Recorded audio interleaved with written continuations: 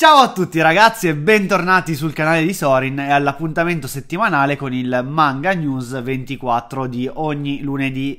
Anche questa settimana ci sono stati alcuni avvenimenti che hanno sconvolto un pochettino il mondo manga e tantissimi lettori infuriati con Planet e quindi andremo a capire cosa è successo con sta steelbox di Naruto, errori, controerrori, provocazioni, non si sa cosa sia realmente successo dietro tutta questa vicenda, ma andiamo un attimino a vedere passo passo tutto quello che è successo realmente. Poi Nintendo, il giorno del compleanno di Pokémon, ha finalmente annunciato i nuovi videogiochi a tema mostriciattoli e quindi ci sono queste due grosse novità di questa settimana, alcune news abbastanza interessanti su dei manga che stanno iniziando, su dei giochi tratti dal, da manga, e concluderemo come la settimana scorsa, visto che mi avete detto che ne eravate entusiasti di questa novità, di questo nuovo format, con le uscite di questa settimana. Quindi non perdiamo altro tempo, andiamo con la sigla e poi andiamo ad ascoltare tutte le novità e tutte le uscite di questa settimana. Come preannunciato all'inizio, la prima grande notizia che ha un attimino scosso il mondo manga di questa settimana è appunto la Steelbox di Naruto. La Steelbox di Naruto, cosa è successo? Che una sera, verso le 6, 6 e mezza, se non forse anche prima, e poi vi spiegherò perché questo orario, ad un certo punto sul sito della Panini troviamo questa schermata non, nessuno se l'aspettava perché non, ci, non, c'è stato effettivamente nessun comunicato ufficiale che l'avrebbero messa in vendita. Ancora non sapevamo neanche quale fosse la steelbox uff- del messa in vendita questo mese, ma tutto ad un tratto era acquistabile. Io personalmente l'ho scoperto verso le 10 di sera di quel giorno e mi sono ovviamente fiondato a prenotarla e ci sono riuscito fortunatamente. Però poi guardando nelle storie delle persone di, su Instagram ho visto che già hanno iniziato a mettere delle storie taggando, menzionando Planet Manga verso le 6, 6 e mezza. E qui mi sono posto una domanda, quando poi Planet ha annunciato di non sapere assolutamente nulla, di non sapere come sia successo di questa messa in vendita tutto d'un tratto, dico, ma possibile che dalle 6, 6 e mezza, quando le persone che seguo io hanno iniziato a taggare Planet Manga fino all'indomani mattina verso le 9, 9 e mezza. Non, nessuno si sia accorto di avere, secondo me, almeno un centinaio di menzioni, tutti su una storia dove facevano vedere che era possibile acquistare questa Steelbox.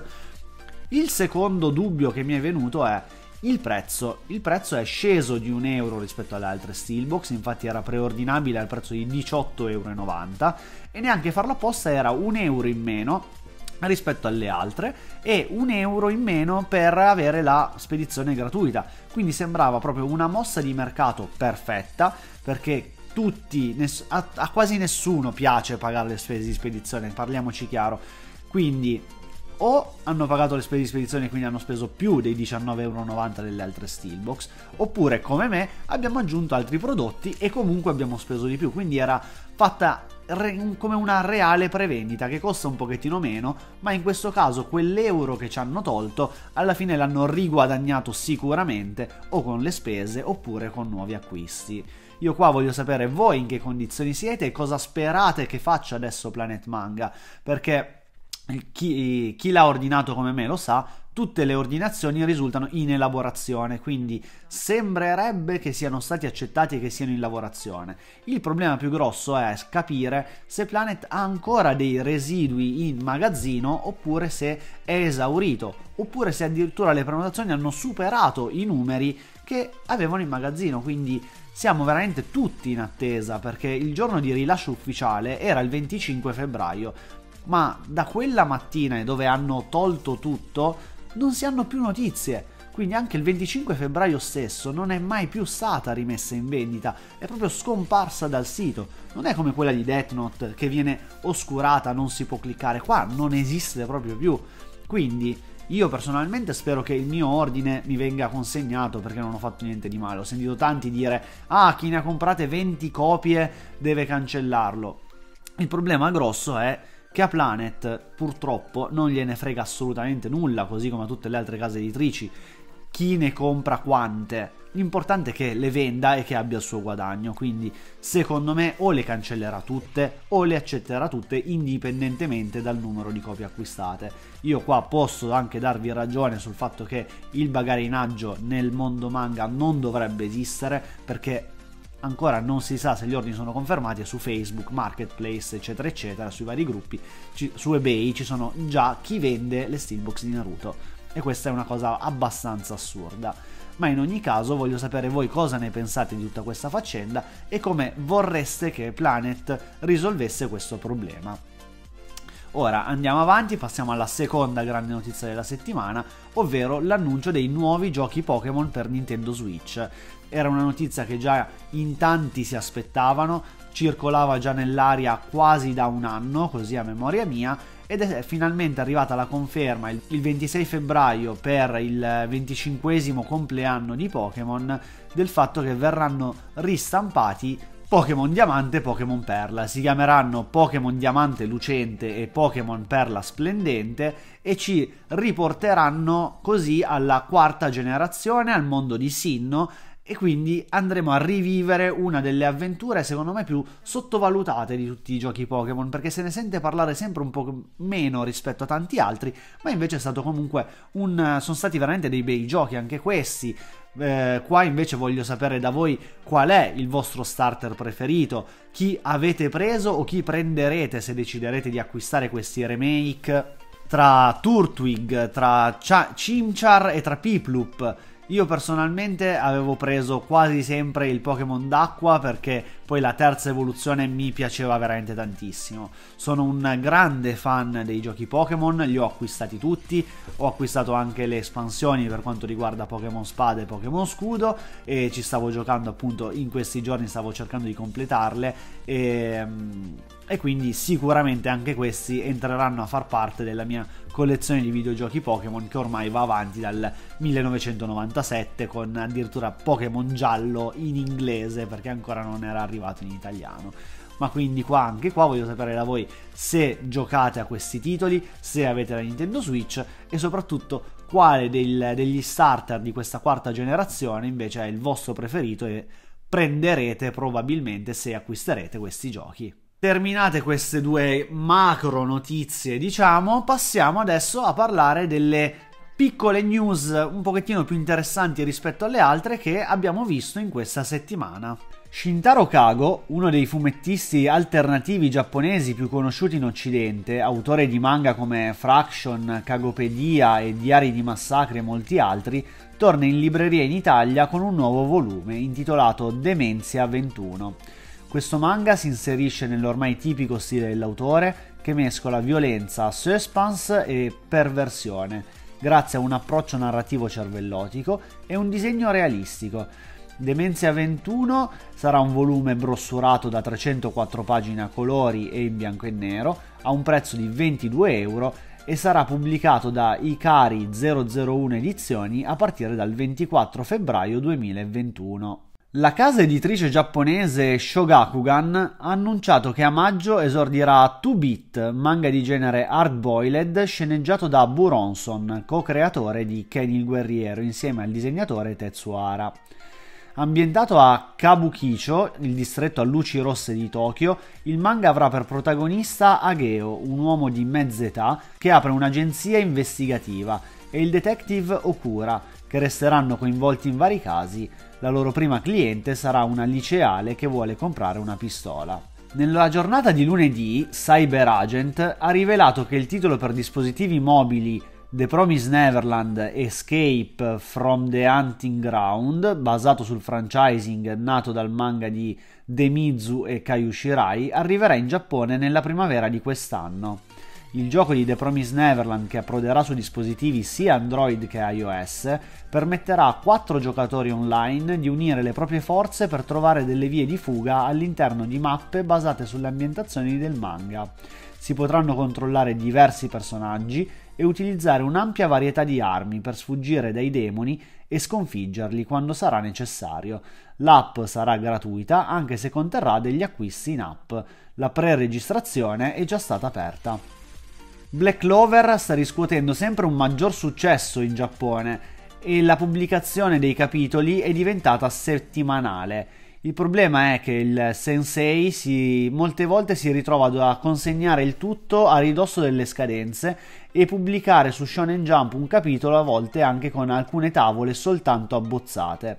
Per evitare una situazione analoga, Tabata ha deciso in comune accordo con la redazione di non pubblicare il nuovo capitolo questa settimana.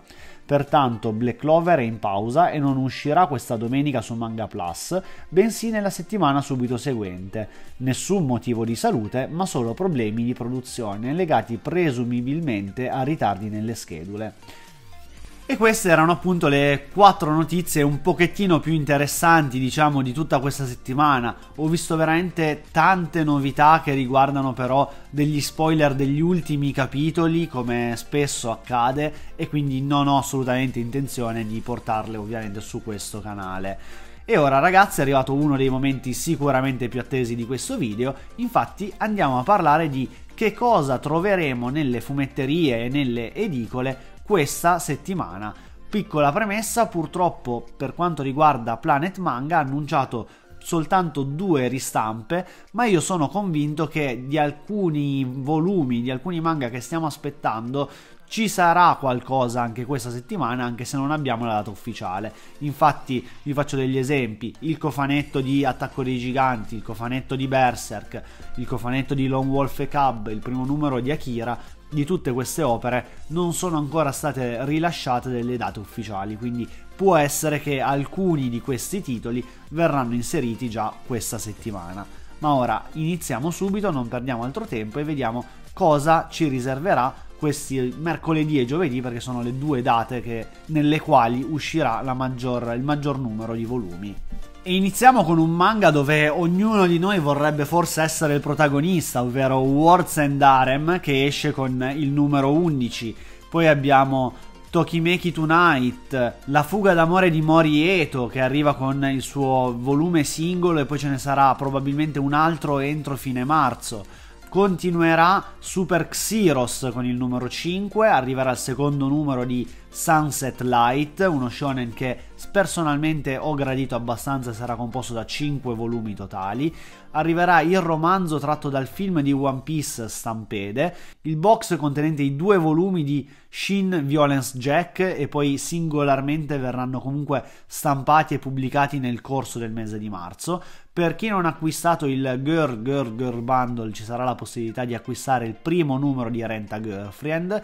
One Piece arriverà anche con il suo continuo regolare del manga con il numero 97 ed una delle novità più attese riguardo J-Pop di questa settimana è sicuramente la pubblicazione del primo numero di Neun, questa storia ambientata nell'epoca nazista dove troveremo il nono ragazzo ad avere DNA all'interno del suo corpo il DNA di Hitler e quindi verrà eh, inseguito e perseguitato dal, dai nazisti per, per questo suo difetto, diciamo, di fabbrica di DNA. Poi uscirà anche come novità assoluta What's Michael in Miao Edition, arriverà My Academia, l'ultra analysis del character book, Doctor Stone Reboot Byakuya, quindi lo spin-off da un volume solo per quanto riguarda il padre di Senku.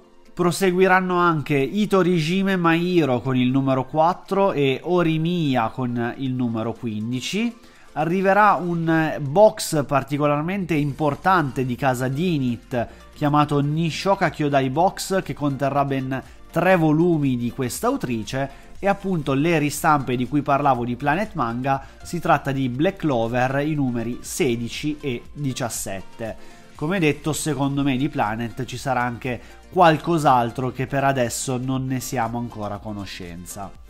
E queste diciamo che sono le, tutte le uscite che per adesso ci sono state comunicate appunto. Fatemi sapere voi cosa acquisterete. Fortunatamente diciamo che io non c'è poi così tanto che dovrò acquistare. Acquisterò comunque What's Michael, Dr. Stone One, il continuo di One Piece, Neun e sono ancora indeciso sul box di Shin Violence Jack. Magari datemi qualche consiglio voi se ne vale oppure no la pena di acquistare questo box, non avendo letto però il, tutta la serie principale. Ragazzi, io con questo ho concluso il video, spero che vi sia piaciuto, mi raccomando lasciate un bel like e iscrivetevi al canale e noi ci sentiamo al prossimo video. Ciao a tutti e buona serata.